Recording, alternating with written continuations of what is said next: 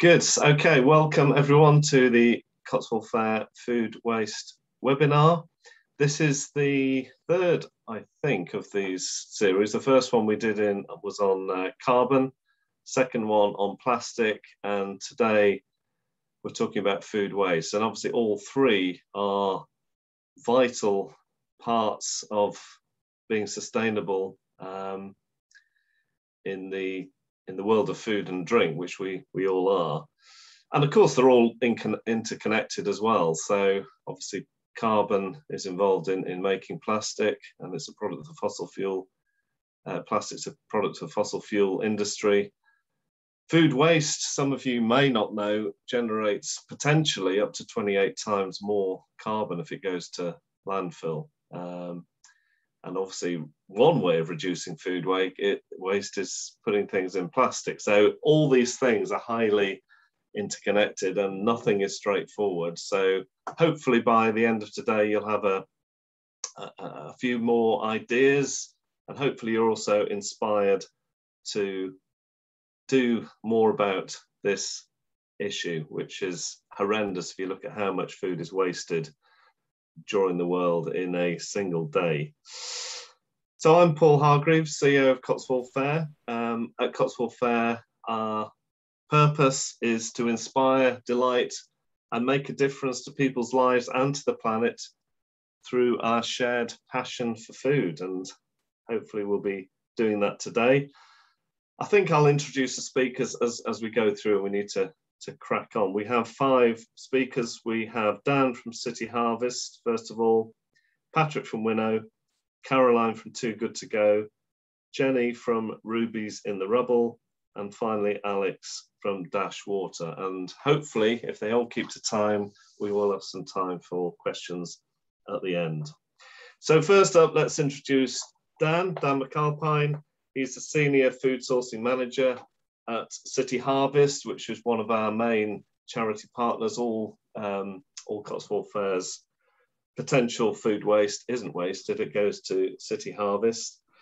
Dan joined City Harvest as the senior food sourcing manager in July 2020, and he comes with a background in food manufacturing, working for Bakkavor and Adderley Foods. But now he's turning his attention to saving and repurposing surplus food from all parts of the supply chain ensuring that wherever possible, edible food finds its way onto a human plate. So Dan, over to you and thanks very much for joining us today. No problem. Thank you, Paul. Good afternoon, everybody. Let me just, first of all, share my screen. Let me know when you can see that. Can you see that? Some nods will be great. It's all good, yes. All good. Lovely, thank you. So as Paul said, my name is Dan. I'm the uh, Senior Food Sourcing Manager here at City Harvest. So my role is to source food um, from all different parts of the supply chain, so from farms all the way through to retailers and, and end users. And today I'm going to be telling you about what we do, City Harvest, why we're needed, who we support, and who supports us in 10 minutes. So let's crack on. So First of all, the need. Why is City Harvest needed? So a few stats for you here um, in terms of London. So we're a London-based charity. 9.2 million meals are missed every single month within London. So that could be families or individuals not eating. 13.3 million meals are wasted or a surplus within the food industry. So as City Harvest, we aim to bridge the gap between the meals needed and the meals that are surplus and are wasted. And we are a, a logistics charity, let's say. We've got a fleet of 16 vans, a large warehouse in Acton, a smaller one in New Spitalfields Market. We get the food from anywhere in the food industry and make sure it's found its way to a, a human plate where possible. So what we do in terms of our operation, every single day we redistribute about 10 to 12 tons of food projects around London. And to kind of picture that, it's about 20 to 25 pallets of food. And we take that to about 350 charities every single week. And the way we support our charities is that we give them the food for free. We don't buy food, we don't sell food. we ask for donations of surplus or, or extra food from our food partners, and we give them out for free. So our charity partners then can save on average £40,000 per year, depending on the size of the charity, and then they can spend that on other parts of their services, so things like counselling and skills training and play equipment for, for youth centres and things like that. Each of our charities get an annualised budget. We just support them with the, the food costs in that respect. So of the kind of 10 to 12 tonnes a day that we redistribute, we only cover about 9% of the need in London alone. So there's massive room to grow um, and our service is, is growing kind of week by week post pandemic. So our beneficiaries, so we kind of nice infographic here shows who we support. So quite a large proportion of our food goes to homeless shelters, lots to children, families, youth centres, domestic violence shelters and hostels. Because we support a wide range of charities, we then can take a wide range of food from our food donors. So we take everything from catering size packs that might be better suited for a homeless shelter that are doing mass catering, everything down to pre-prepared meals that might be better at a hostel where the, the kitchens are smaller, the kitchens have less equipment, skill level of the people using the kitchens might be slightly less. Therefore, they pre-prepared meals and meals that can be easily eaten on the go or you know, within a smaller kitchen environment. So we have around 150 live donors at the moment, food donors, um, and we take the food from them in all different shapes and sizes and packaging formats and quantities. And there's a, an interesting stat at the top here from WRAP, 4 million tons of food a year is wasted in the UK from the manufacturing, retail, and wholesale sectors alone. And that doesn't include farms. So when you add farms to that, you're talking six to seven million tons of food. So as City Harvest, we work with our donors to make sure we're helping them achieving net zero in food waste, finding innovative ways that we can unlock surplus within their operations. So we work with people on this call. So Cotswold Fayre, Rubies in the Rubble, we've worked with lots of uh, food donors within their new development, new product development. So that's my background, new product development, where you know you make a couple of thousand of a product, you use half for your testing, and the other half either go to staff, go to food waste, or can be diverted to charities like ourselves who will find a home for it in the local area around London. And you know, lots of people on this call from lots of different areas of the food industry. I'm sure a few of these ring true for you order cancellations. So if you ever work with the big retailers, you might be making your volume on a forecast. We all know at 12 o'clock cut off on a forecast, when you dip in below that or you, you've made too much, you're left then to, to hold on to those pallets. And if you have the luxury to roll them over to the next day, brilliant. But if you don't have that, if you're working on tight shelf life, then you're left with stock that still has six days life, seven days life, but it doesn't meet the needs of the, the retailer of, of your customer.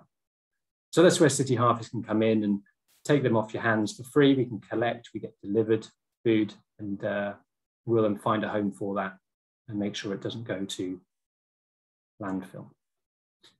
So other forms of food waste, so seasonal stock, your Christmas lines, your summer lines, everything that might have branded packaging that is not needed anymore. Again, we can take that um, and plenty of other on there, sell by dates, use by dates. We can add use by date extensions. So here is an interesting hierarchy prioritization. So some agree with this, some don't. This is what we base our kind of food waste strategy on. So lots of food businesses claim to be net zero. So that's the kind of phrase that's going around at the moment, net zero. So as long as it doesn't go to the red one at the bottom, you're net zero. However, there should be a hierarchy for prioritization of food surplus.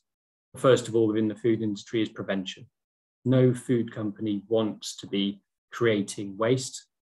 However, if you worked in the food industry, you understand that waste is, is a part of production. You need to make to forecast, you need to make extra. Your, your worst case is you short a customer.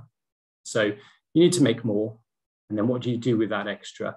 City Harvest then reuse that for human consumption. So we'll find a home for it on a plate rather than it go to animal fuel, feed or biofuel, where the food, all the energy that's gone into making that food, and just gets used up um, in animal feed or, or biofuel. So you can run down their prevention, reuse, human consumption, animal feed, all the way down to the disposal at the bottom. The disposal at the bottom is bad for two different reasons, and Paul touched upon it as well. So if you, you send your stock to landfill, not only are you wasting the energy that's gone into that food, produce it, you're also then exposing that food then to more greenhouse gases. So as it sits in landfill, you are producing the greenhouse gases on that food. And City Harvest can save that food, give it to human consumption, but also prevent greenhouse gas emissions that come from, from a landfill disposal of that. So like I said, we've got about 150 different donors live at the moment. We've got about 2,000 on our books have donated to us in the last seven years. Um, but 150 live at the moment, of which Cotswold Fayre are a kind of a big player in that. So Cotswold Fayre and City Harvest have had a great relationship since about 2018. I think we met them at Specialty Fine Food Fair, got to talk to them, understand what they were about, understand what we were about. We've worked with them since to unlock food up to the tune of 48 and a half tons from their supply chain in the last three years. And that equates to about 115,000 meals in total to feed people that need it in and around London. And in doing so, have diverted 184 tons of greenhouse gases from saving the product from landfill. So thank you, Cotswold Fayre. Thank you to all our donors that make our work possible now and in the future. So take home message really from me today is, is your business following the food surplus hierarchy where possible? Claiming to be net zero is one thing, however, claiming to net zero and then feeding the people in the local areas around you is the next step. And if you have food to donate, please do get in touch with any of the food redistribution charities in London or around the UK. There's plenty, we've got full UK coverage in the UK, so I'd ask you to do that. Thank you very much.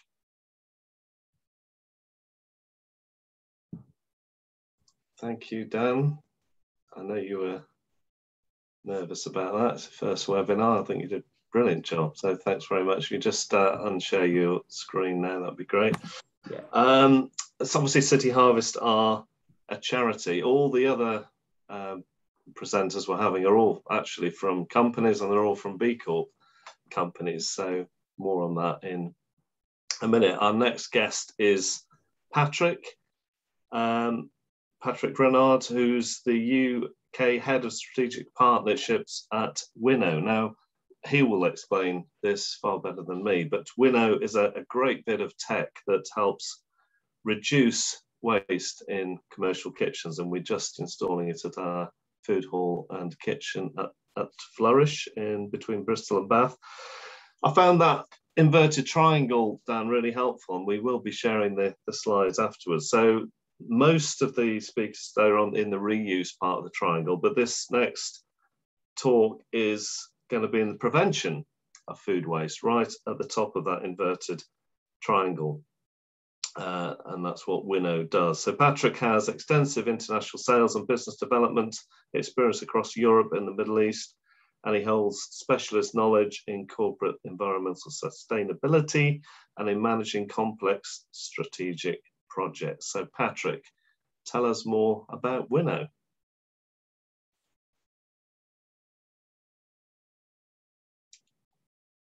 Patrick, are you there? I think you may have frozen.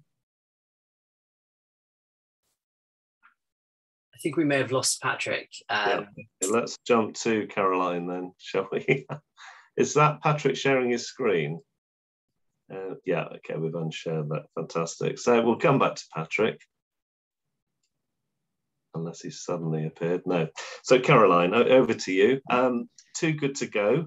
is a way of uh, reusing food that would have otherwise gone to waste. Uh, we know Caroline, who worked for one of our suppliers in the past, and Too Good to Go has also been used at Flourish, and so far we've get we've um, sold 100 magic bags, which probably means we need to get the ordering slightly better. We hope that down over time, but um, Too Good to Go is another B Corp and starting to be very well known in the food industry, uh, and it's an app by which you can order at reduced prices food that would have other been waste, otherwise been wasted in retail or catering environment. So, Caroline, over to you. Sorry, uh, you, we've jumped you at the queue. Hope you're ready to go.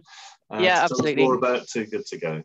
Brill, thank you. Um, yeah, absolutely. So Too Good To Go, we are an app, um, but we are more than that, um, which I'll go through uh, with you in, in a minute. Um, but this is basically why, we're he- why we are here. And um, to echo what Dan said, um, food waste is a, a huge um, problem. It's an environmental problem and social and economic problem as well.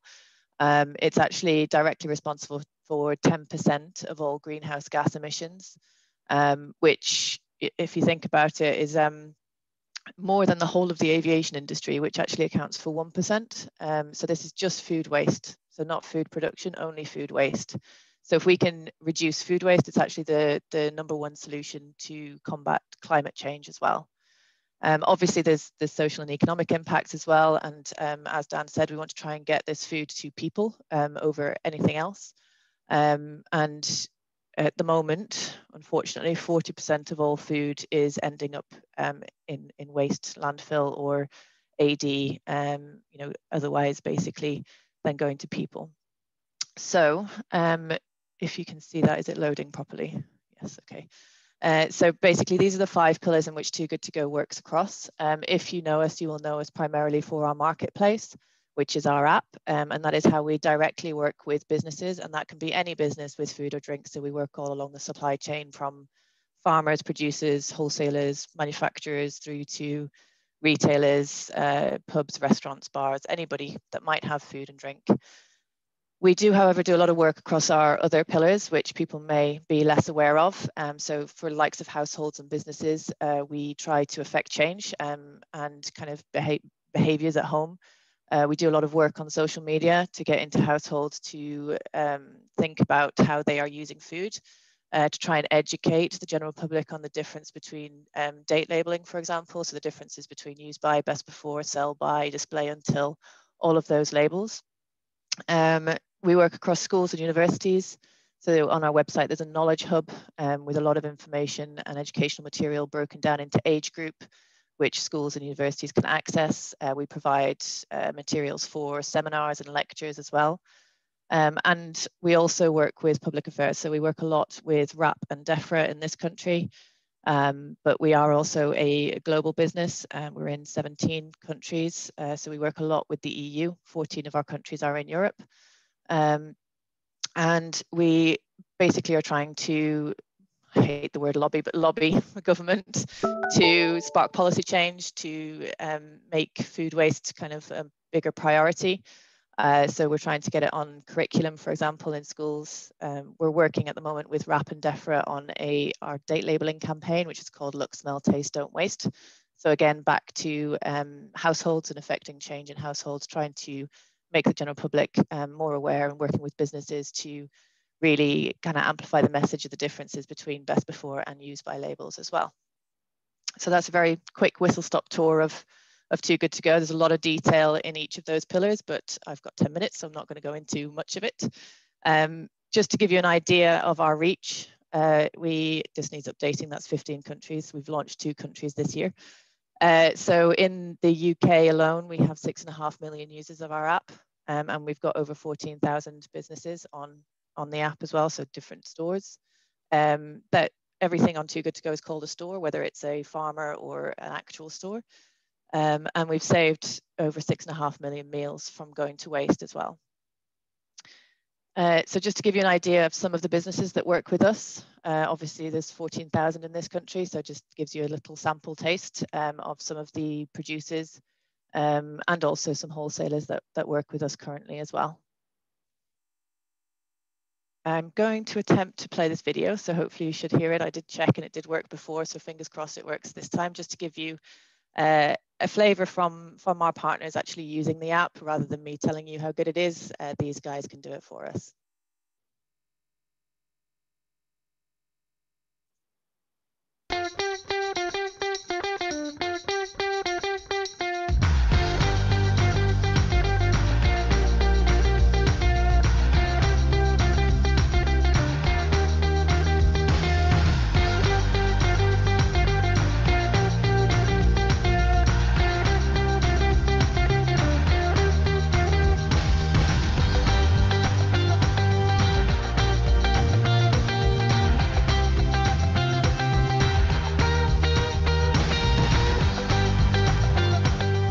Too Good To Go is a completely different concept to anything we've seen before. It has significantly reduced our food waste and allowed us to get our food in front of an audience that was previously inaccessible.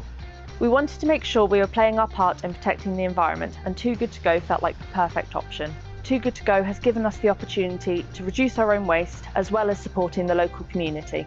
The app was really easy to implement and we're now fully in the swing of things. We definitely recommend Too Good To Go to any wholesalers or businesses looking to reduce their food waste. I've already recommended Too Good To Go to several companies and I'll continue to do so. When it's between throwing food in the bin and using Too Good To Go, the decision's a no-brainer. It's been perfect and so easy to use. Now it's one of our first sort of avenues to explore every time we have um, an issue with stock. So it was quick, easy access to the market and we've got access to hundreds of customers all in one, one go great to see these high quality products still being appreciated. We're playing our small part in preventing global warming as well. So, in one word, Too Good to Go is unique, rewarding, innovative, purely incredible. Great. So that was just some of our partners. Um, we'll forgive the last guy because purely incredible is two words. We said one, um, but at least it was. Uh, no, I don't want to play again. Right, so a bit more on um, how it works then. So as an app, we are, and as a business, we are purely uh, charity first. So if food can get to charities and it can get redistributed to people who need it, then it absolutely should. Um, we are there for any bits and pieces that are left at the end. Um, and businesses can sell it through our app to recover some costs. So how that works from a customer side of things, um, they would scroll down through the stores available in their area pick on one that they like the look of, um, have a look at what they could get inside the what we call magic bag.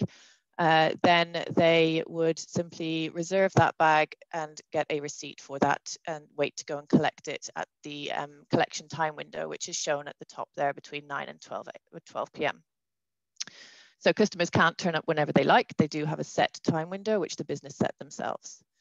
Uh, from a store perspective, then every user um, who wants access to the store um, from that business would have uh, their own login details. We would set um, a supply level and then actually on site, uh, there's very little to do for the stores. So they would just um, basically have to check a receipt. Everything else is done through the app. All the payment is taken through the app.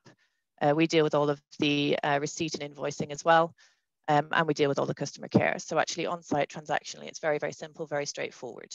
We've tried to make it as easy as possible for businesses to use us because we know you guys are busy and don't have much time. And we are competing at the moment with um, throwing things in the bin, which ultimately is the easiest solution. So we need to be quick, simple, and um, easy to use. And then just to run through some actual benefits for brands using us, obviously the main reason is to fight food waste. Um, we say many small things make a big impact. Just to give you an idea on that, if you save one magic bag, so if you list one bag on the app um, and that sells every day for a year, that would save the same amount of CO2 as driving from Land's End to John O'Groats and then back again. So making small, um, uh, doing small things, sorry, makes a big impact actually to, to climate change. Quite often people think it's such a big problem, they can't have any impact themselves, but they can.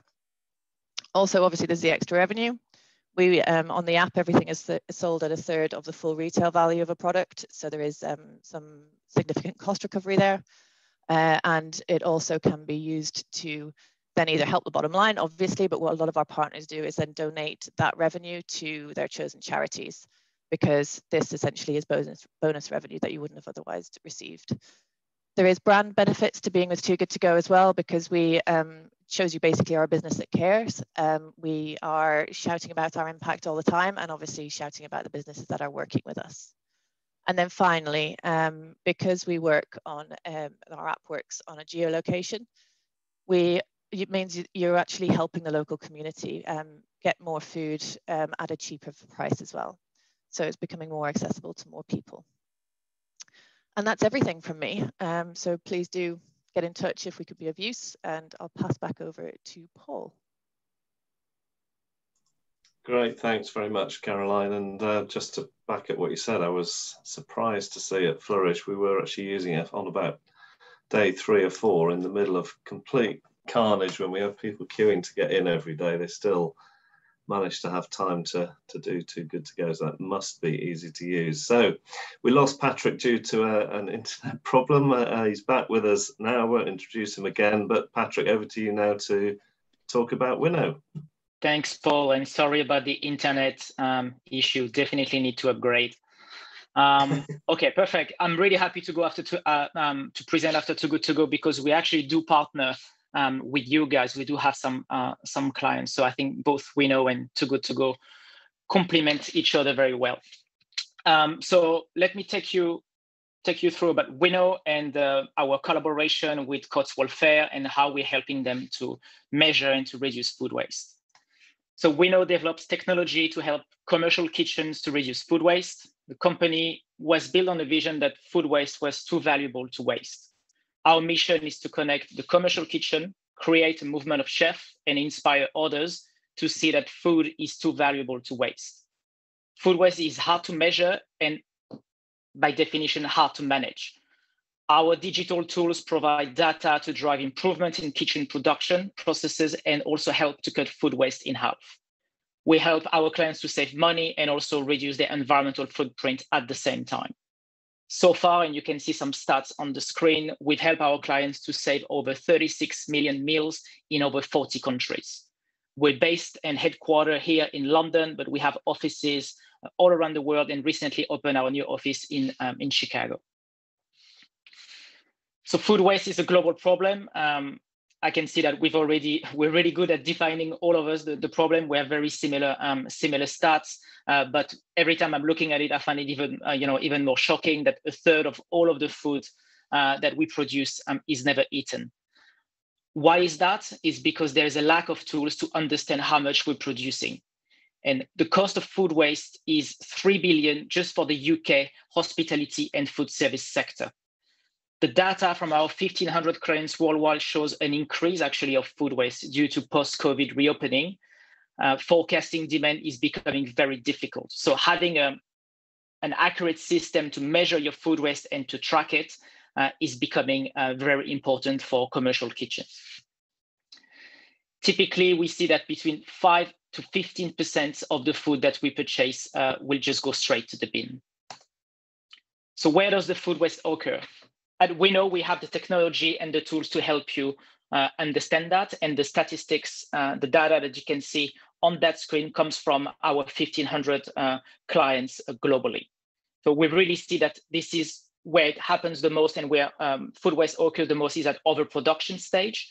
Uh, you can see, and our data shows that typically food waste costs kitchens between 4% to 12% of the total food purchasing costs. So it's a very significant amount. As you can imagine, uh, we work with global uh, and, and, large volume sites like uh, large caterers here in the UK, like Compass Group. So if you suddenly multiply that by the number of their sites, this is uh, absolutely significant. So how will we now help um, Cotswold Fayre to reduce their food waste? Well, first, uh, we're implementing one of our solutions. So we have um, different solution. I only have 10 minutes, so I'm going to focus on our cutting edge technology, uh, Vision with uh, AI in, uh, uh, included. So first, we're going to help them to record it because most of the commercial kitchens um, have having difficulties to measure um, food waste. Uh, let's face it, is not um, is it's really hard to actually uh, engage chef to, to measure food waste because if you don't have the right tool, this is very much time consuming. And Winnow is tackling that by providing a, a, system and a solution that I'm going to show you straight after of how to measure and record food waste uh, without efforts. Based on those data, they'll be able to track it. They will work with them to establish a baseline to understand what is the food waste level in their operation. And we will forward them a daily and a weekly report to really identify the top areas of waste. Uh, what are the low hanging fruits? Where can they actually straight away reduce the food waste? Uh, and all of those reports will also them uh, giving them evidence uh, when they talk back to purchasing or when they actually look at portion control suddenly they have access to a data and access to a world of data that they didn't have access to before because they didn't have the right tool to measure it accurately. Those reports will help them to drive change and to discuss within the kitchen with the chef, the kitchen staff, of how they could um, uh, improve it or how they could reuse what is basically um, uh, what has a destination, which is the bin. So we're really empowering them. Uh, know is not um, a spying tool in the kitchen. Some chefs sometimes see it as this at the beginning. It's actually quite the opposite. We're here to help them and to give them the, the best performing tool in the, in the market to measure and to reduce food waste.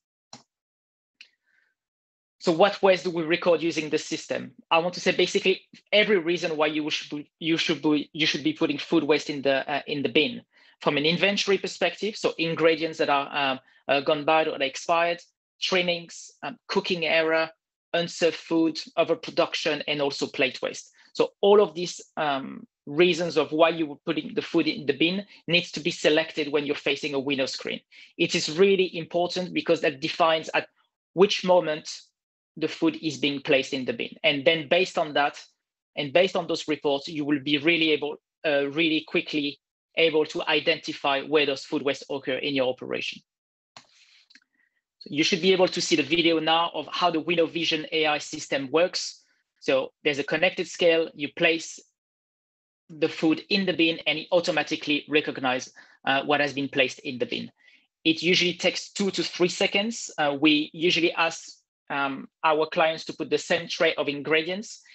And after that, they will always see on the screen uh, what you're seeing right now what would happen if I was going to see this every day? What will be the cost per week? What would be the cost per year? The environmental cost in CO2 emissions, portions, and obviously the exact amount of what you've just placed in the bin. So this is really powerful. When we talk to chef, they say, well, since we've implemented Winnow, the, the team uh, and even myself, suddenly we're putting a, a financial figure uh, linked to food waste.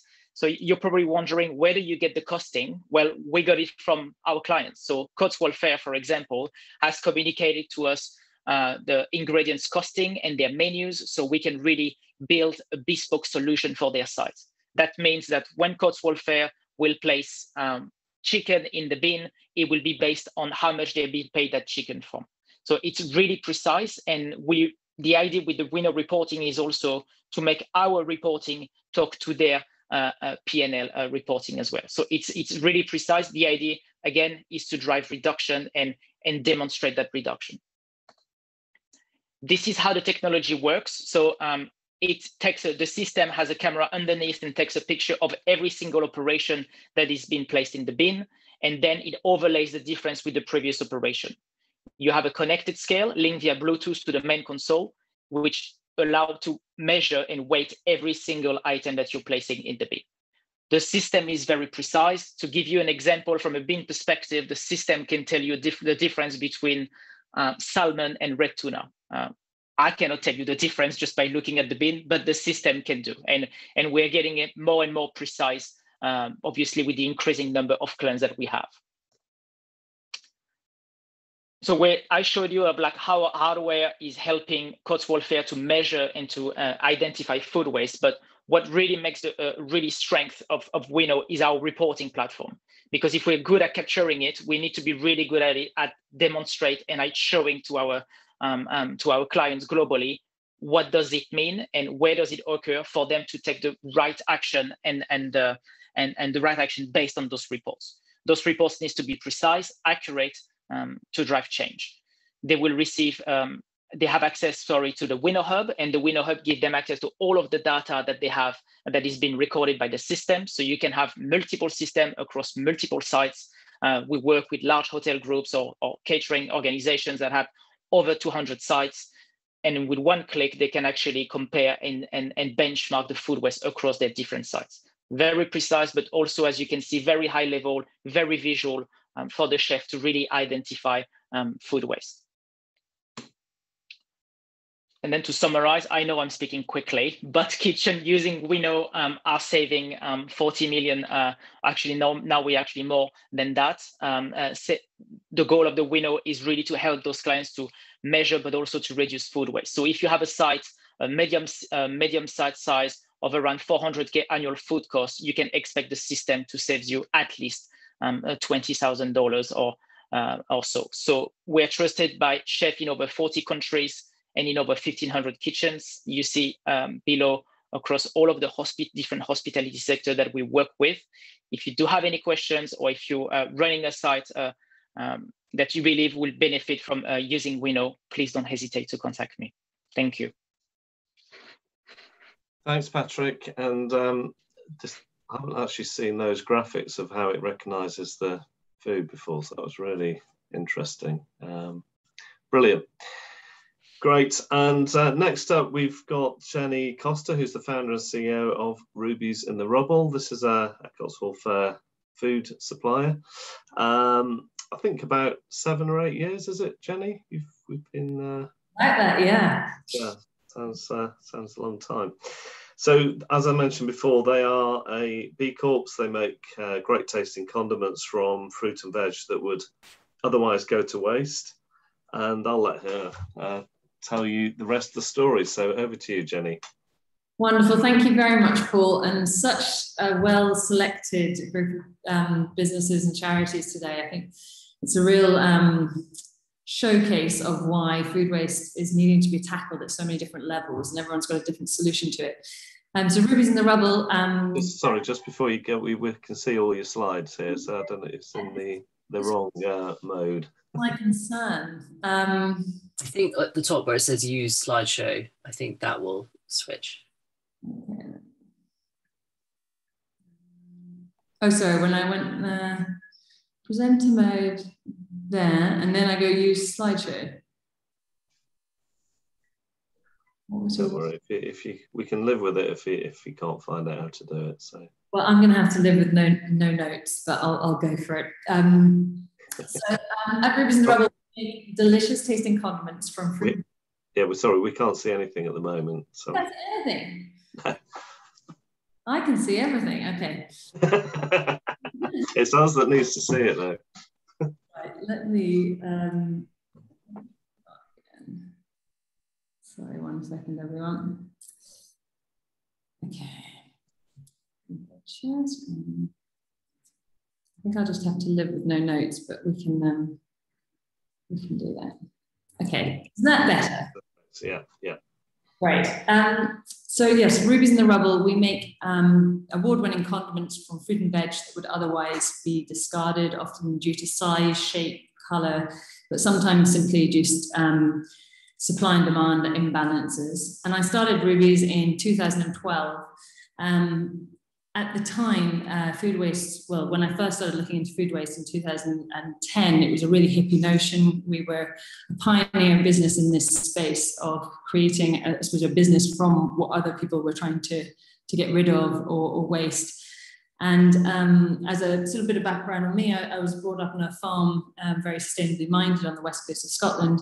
And food was always so much a part of our everyday living. Um, my mum was a really keen gardener, and she prided herself on the fact that she could feed the whole family from fruit and veg from the from the, the garden all year round. And so preserving and pickling and making condiments was a really natural way of, um, of reducing waste. Then I went off to university, I did a, um, studied maths and ended up in a hedge fund and I ended up reading an article on bin diving one day, and it made me think about the supermarkets of locking up food at the end of the day. And again, this was back in 2010, where really, I mean, things have changed so much since then. Um, but people, you know, were trying to get rid of food, and other people trying to trying to get a hold of it, and it just made me think of the whole food supply system and food being perishable and unpredictable and governed by weather and humans being unpredictable as well and how with, with our system that we've currently got supermarkets at the, the middle of it and food being displayed in such ample beautiful um, amounts what happens when food is when, when that supply and demand doesn't balance? Um, and it got me researching food waste as, as, um, as everyone sort of mentioned, starting to read about all these facts that um, again, back in the time, it felt like I was undiscover- discovering this sort of secret that no one was really shouting about. And the, the main thing that really sat with me was that we have plans to double our food supply by 2050, yet we're wasting a third of everything we produce. And when agriculture is the single largest contributor to greenhouse gases, we can't afford to be this wasteful with food. It was only a couple of generations ago when we had a different attitude towards food and, and no one would waste in their fridge. Um, so I, I really wanted to create a brand that raised awareness of this need to value food again and see it as a precious resource, but was also a practical solution. So income, the food waste heroes, this is the Rubies in the Rubble range. And we started with my mum's recipes from her vegetable garden. Um, it was her, her spicy tomato relish uh, with an onion relish and um, different other fruit flavored chutneys which again, what I was mentioning earlier, it was a really traditional way of preserving when something's in season or you've got an abundance of something and being able to enjoy it for years to come. And then we launched our mayonnaise range and, and our more recently our ketchup range. But when, when we very first started, I started going along to wholesale fruit and veg markets at sort of three in the morning, and it was seeing waste with my own eyes and sort of seeing pallets of fruit and veg coming into the country that hadn't even made a shop shelf. And so thought this is just like my mum's garden on giant scale. It's it's perfectly good now, but it needs a home, um, and I need to create it a, a, solution that can add shelf life to it and add value. And that was why I started in condiments and um, and where we've taken it sort of um, as we as we go forward. So two of the big things that we're always looking for as a company is that it's got to taste good and it's got to do good. And with with doing good, I think it's why we as a, as, as a food business or a food um, manufacturer operate very differently because we we're not just thinking of what's going to be in demand, what are people going to really want, but we, we start with what have we got supply of and what are we going to have a huge abundance of that we can really create a new home for. Um, and it took us years in, in creating our our way of processing as well because you'd often for example bananas being one of the biggest fruits that are wasted in the uk um, and no one would process those bananas. Also, bananas, they can't go into anaerobic digestion. Um, when they decompose, they have a, a, really a methane gas and they're very hard to get rid of. So we knew we wanted to do something with that, um, but then finding someone that was going to hand peel bananas um, and finding a, creating a recipe that we could utilize. And I started looking into, we had a mango chutney at the time, and it was a play on a mango chutney to create it with bananas that could accompany um, uh, curry or to go alongside something like a Caribbean chicken dish. Um, and it's got cayenne pepper and ginger. It's a fantastic product. It's a bit of a marmite. People either love or hate it. Um, but it was just for us a, a, real symbol of let's let's make sure that we create solutions to problems within the supply chain as well as just great tasting products. Um, and that's really the essence of all of our products and, and the range. They're in general made from fruit and veg um, until we created our mayonnaise range. So um, the way that we work or where we tackle food waste in the supply chain is further up the chain. So either at the farm, um, where up to 40% of a crop can be wasted, often being the wrong size, shape, or colour, um, or as I was mentioning earlier, um, it might be that it has a doesn't have the shelf life to then go to a supermarket uh, or go to a warehouse, get sorted, go into supermarket shelves, sit for a long time, and then sit in your home. But um, we knew that we could have three, four days shelf life on it to be able to turn it into a product that then has a two-year shelf life. Um, and the, the, anomaly to, to using fruit and veg is our mayonnaises, and they're based on aquafaba, um, which is that, that for I'm sure most of you will know, but that bean water, um, the weird water that you get in a can of chickpeas, which has a similar property to an egg white. And I remember reading articles around vegans making meringues from it um, about seven, eight years ago. I thought if they can make a meringue, I really want to get into mayonnaises. And so I started making a, a mayonnaise from this aquafaba.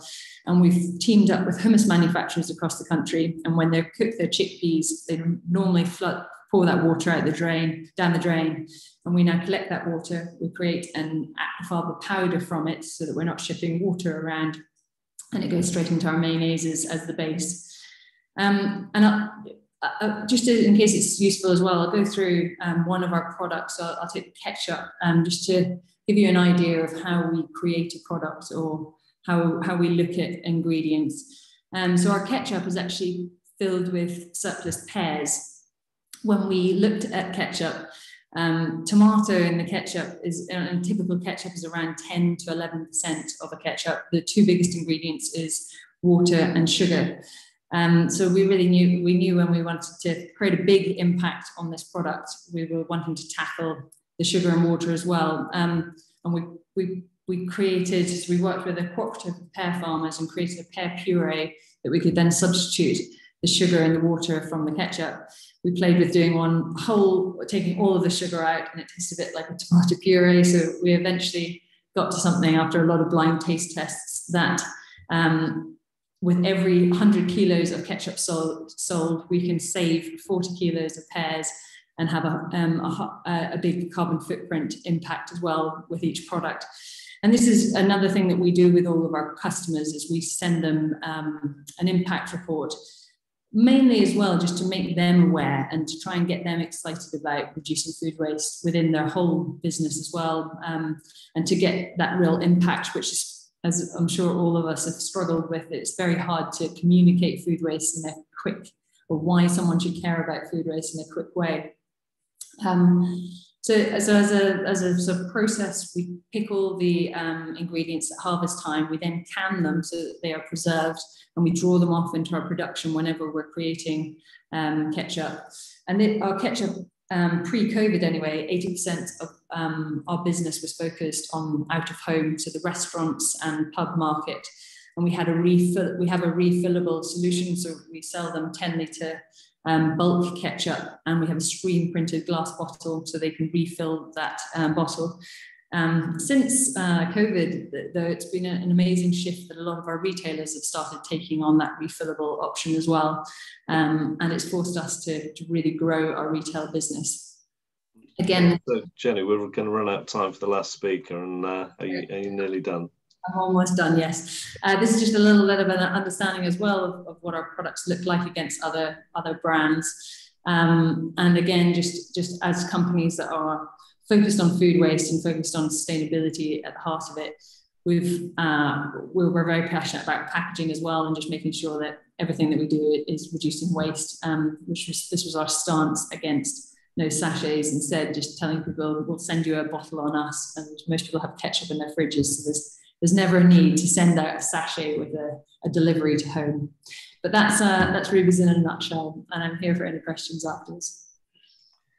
Excellent, thank you very much indeed. And that's something that's come through all the presentations so far is the communication with the customer of the reduced impacts they're making through buying the product or through using the winnow in the kitchen. I think that is a really important part of this is, is making it more, making people more aware of the damage they normally do to the environment if they're not doing this better behaviour. So finally, another Cotswold Fayre supplier, more recent one, um, Dash Water only started four years ago, but have made a big impact in the, the world of uh, soft drinks and in the specialty food world. Uh, Alex Wright is the founder of Dash Water, and they use wonky and crushed and all sorts of weird uh, fruits to make some delicious drinks. So, Alex, over to you. I do, yes. Thanks so much, Paul. And just before I start quickly, um, firstly, a big thank you to uh, Dan, Patrick, Caroline, and Jenny.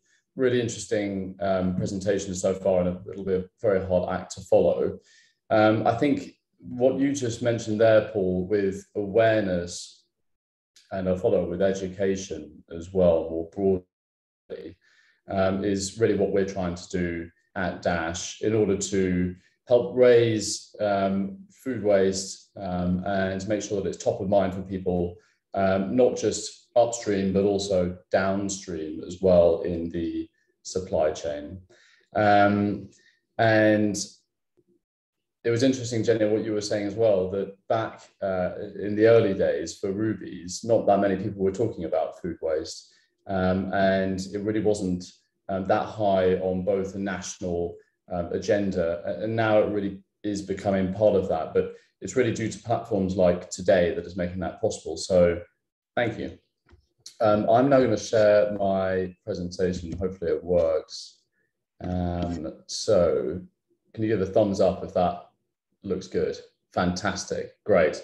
So I've got uh, I've got less than 10 minutes to um, have a whistle stop tour of Dash and what we're trying to do, uh, raising awareness about food waste and um, using surplus along the way. So by way of a short content, I'm going to introduce Dash. I'm going to talk about the issue of food waste in a very concise way because a lot of people have talked about it so far. And then the third point is a little bit about B Corp um, and carbon analysis, which ties into food waste as well. Firstly, on the introduction. So, what is Dash? Hopefully, you've all seen and tried the products. Dash is a very simple product to make. We use three simple ingredients that is water, bubbles, and wonky fruit and veg that would otherwise go to waste. The mission and our, reason for being is uh, very clear. Jack and I, my co-founder, um, we both come from farming backgrounds. So myself from West Sussex and Jack from Shropshire. And we would see firsthand that around a third of fruit and veg doesn't end up on people's plates. And it was crazy seeing the scale growing up. And we wanted to use this fruit and veg in order to upcycle it into a product that would prevent it from going to waste. And at the same time, we partnered with a food waste charity called Feedback that hasn't been mentioned so far today, who are absolutely brilliant at gleaning, which is the process of matching farmers that have surplus to people that want to take it off their hands to buy it, in, in our case. And so they were fantastic at being able to us with farmers to save that fruit and veg. And while we were looking at products to upcycle, we saw beverage nationally were just stuffed full of sugary and artificially filled ingredients. And so with Dash, we use this fruit and veg that we buy from farmers um, that would otherwise go to waste and create it into a what we think a really delicious beverage that doesn't have any sugar or sweetener. We try to use our business as a force for good. And so what does that mean? It, it, it distills down into, into, into three key areas. The first is B Corp. I'm not going to run into this um, too much because everyone knows um, what B Corp is about today. Um, but essentially, by being part of this great community, we're able to have our business really at the forefront of high standards, both for social but also environmental um, performance measures. The second here is saving fruit and veg that would otherwise go to waste. This is uh, us on a team day with uh, feedback down in East Sussex near Hastings, um, where we picked 1.5 tons of fruit and veg that day and recirculated it to charities in and around Brighton. Um, but overall, each year we try and save a, a, a really um, what we believe is a considerable amount of, of fruit and veg. Um, but more importantly, we want to try and use Dash as um, a platform to help educate consumers about the issue of food waste um, and what they can do to try and support too lastly, on, on the right, you can see that Dash is crafted in the UK.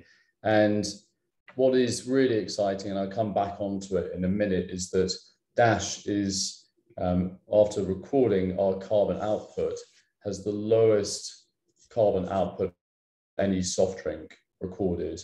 And that's because it's all crafted in the UK. The spring water that we infuse comes out of the spring, having not seen sunlight for the last 30 years, and is in the can within seven minutes. Our raspberries and blackcurrants come from within a 15 mile radius. Um, and so everything that we try and do is as localized as possible. It's worth saying that we're not perfect, and we do need to try and make sure that we're able to cut back on any plastic that is used within the supply chain, create efficiencies to make sure that our raw ingredients are as close as possible. Um, but all the good stuff that we're working on at the moment.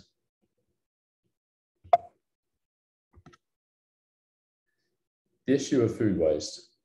So I was going to go on to this in a little bit more detail, but seeing as we've gone through it quite considerably now already, the three key stats for me that really jump out that I think we should all be um, aware of is that a third of food produced globally goes to waste each year. That translates into about 1.3 billion tons.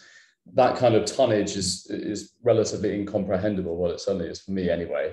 And so just slicing it down into 30% of fruit and veg goes to waste, I think is a, is a more um, bite-sized stat excuse the pun, that I think is um, a little easier for everyone to uh, work off at home.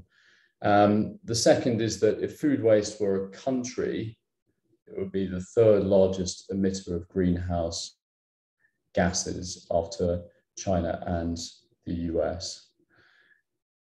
And lastly, for me, I think this is really comes back to the awareness and the education piece that I think we all need to um, work harder on is that in most developed countries, half of all food waste takes place at home. It's that bit of salad at the back of the fridge um, that you don't necessarily think that you're going to use and you think you can use tomorrow and then suddenly it goes off. Um, or it's the ingredients that are in your fruit bowl at the very bottom and um, we think we can use it for a cake that we're going to be able to create next week, but then suddenly it goes off and we, we didn't use it it's all those little bits that I think really add up and that we should try and make sure that we can reduce. Last bit on B Corp and carbon analysis. So why I thought this was interesting is that um, we used um, Carbon Cloud, um, specifically Liv, who um, is on this call today, who introduced herself earlier at Dash, a fantastic job at um, really looking at all of the components that create our Dash products. Um, and what you can see here on the left is that for every can that we make, 0.11 parts of CO2 per kilogram goes into making a can of Dash, which although that's we're in a good place at the moment, what is interesting looking at these stats here is that 80% of our total CO2 emissions come from the fact that consumers only recycle 50% of the aluminium can. And so what we need to do at Dash is we need to make sure that we are really driving awareness to encourage more recycling. So it's not just food waste, but it's also making sure that wider recycling um, is, um, is done as well. We've also seen that through direct to consumer with COVID, and now a very considerable proportion of our business goes through direct to consumer, we need to make sure that the white vans that are driving around, especially in city centres that can be diesel guzzlers, those vans or the delivery process is as um, sustainable as possible. So now we offset all of our uh, the, the, carbon that is uh, emitted through our total web shop supply chain. Um, and it's something that we're looking at further for the rest of the business as well. And the last thing is just to be really careful at Dash to make sure that throughout our supply chain, yes, we're using surplus ingredients um, at, at, the beginning of the process, but throughout the supply chain, um, making sure that there is very little waste that goes on. And this is this comes back to the common sense part, um, which is making sure that the transportation of the product we're using full pallets rather than part pallets, and we are produce, we're making sure that the distance between journeys is as short as possible. So those are three interesting, well, hopefully interesting insights uh, for the carbon analysis that um, just shows that we're trying to go a little bit deeper um, into um, the analysis of how we can better ourselves as a business. So that is me. Great, thanks. Thanks very much. it sounded like a, a, a sub man there. Uh, Ben's been nudging you. So perfect, actually. It's uh, exactly 1300 hours. So um, we, we there are a few questions in, in the chat, but obviously appreciate some of you may need to, to disappear at one. Um, but feel free to, to hang around to, to listen to the, the Q&A. Obviously, you can always eat your lunch at the same time. Um, ben, do you want to read out a couple of the questions that were higher up the, the message board? And thanks, Alex, and uh, obviously just in case people go, thanks for coming, first of all, and also thanks to all our speakers, some excellent content there. And I think um, there's things that we can all do to be uh, to be better in this area. So, yeah, Ben, over to you. So the first question comes from Sophie Gaston of this, and it says, question for Caroline, love the app, especially when a vegan cafe pops up on there. It's great that you flag vegetarian ma magic bags. In the future, will you look to highlight vegan magic bags, or is this an option that I've missed? I'm afraid it's the latter, an option that you've missed. We already do. um, so we've got the option on the app to say whether a bag is either vegan or vegetarian.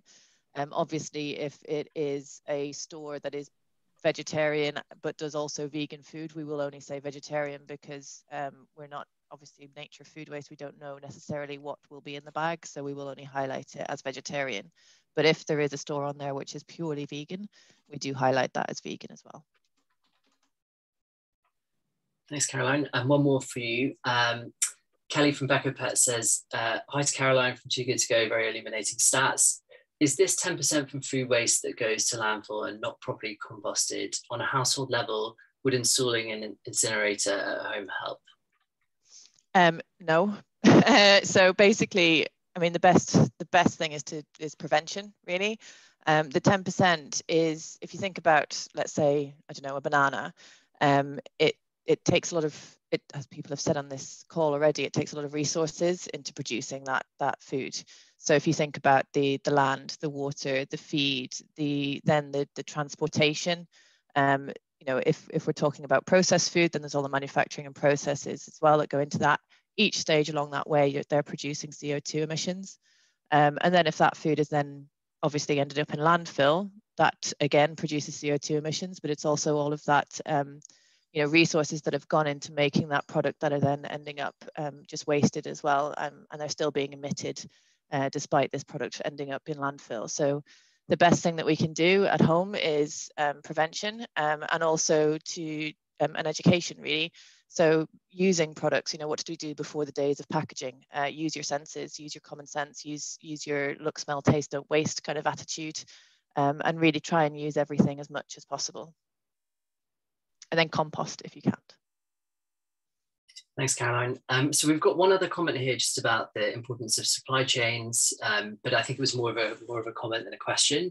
But maybe at this point we can open up if anyone has any kind of final questions they wanted to ask to our speakers today. Now's your opportunity.